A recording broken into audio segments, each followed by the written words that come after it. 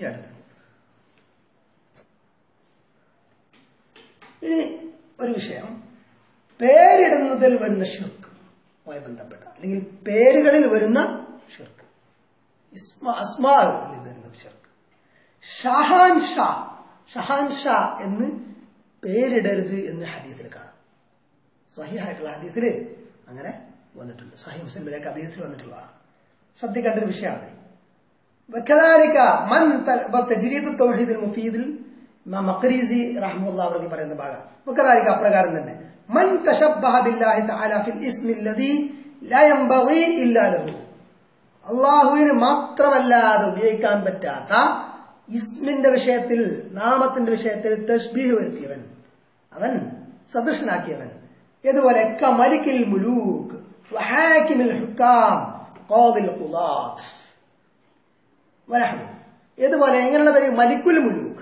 രാജാക്കന്മാരുടെ രാജാവ് രാജാതിരാജൻ മാലിക്കുൽ മുലൂക്ക് അല്ലെങ്കിൽ മലിക്കുൽ മുലൂക്ക് അതൊക്കെ ഹാക്കിമുൽ ഹുക്കാം. ഹാക്കിം വിധികർത്താവ്. ഹുക്കാം വിധികർത്താക്കൾ. വിധികർത്താക്കളുടെ വിധികർത്താവ്. ജഡ്ജിമാരുടെ ജഡ്ജി.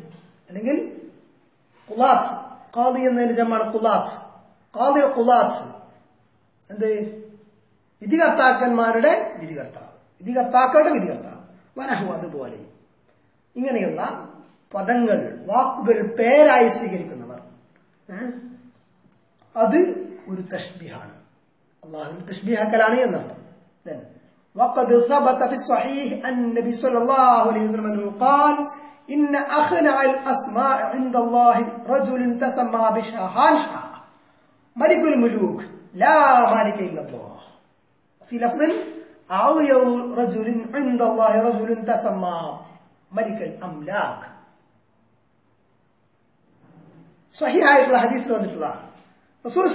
പറഞ്ഞു ഇന്ന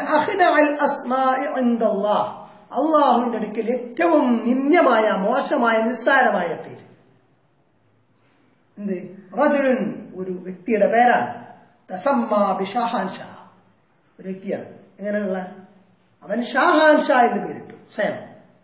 മറ്റൊരാളെ നമുക്ക് പേരിട്ട് നിൽക്കാം നമ്മുടെ പേര് നമ്മൾ ഇടുന്നതല്ല യഥാർത്ഥം മറ്റുള്ളവർ ഇടുന്നതാണ് അല്ലേ? അപ്പൊ നമുക്ക് ആ പേര് മാറ്റാം. ശരിയല്ലാത്ത പേരാണെങ്കിൽ എന്ത് ചെയ്യാം? ആ പേര് മാറ്റാൻ ഓപ്ഷൻ ഉണ്ട് മാറ്റുന്നതായിരിക്കും നല്ലതെന്ന് എനിക്ക് തോന്നുന്നു ഷഹാൻ ഷാ എന്നൊക്കെ പലർക്കും പേരുണ്ട്. ശ്രദ്ധിക്കേണ്ട ഒരു വിഷയമാണ് മലിക്കുൽ മുലൂഖ് രാജാതിരാജൻ ഈ ഷഹാൻ ഷാ എന്നത് ഉറുദു പേർഷ്യൻ ഭാഷകളൊക്കെ ഇത് ആണെന്ന് തോന്നുന്നു. ലാ മാലിക്കയില്ലല്ലോ അള്ളാഹു അല്ലാതെ ഒരു ഇലാഹും ഇല്ല എന്ന്. ഒരു ചില പദങ്ങളിൽ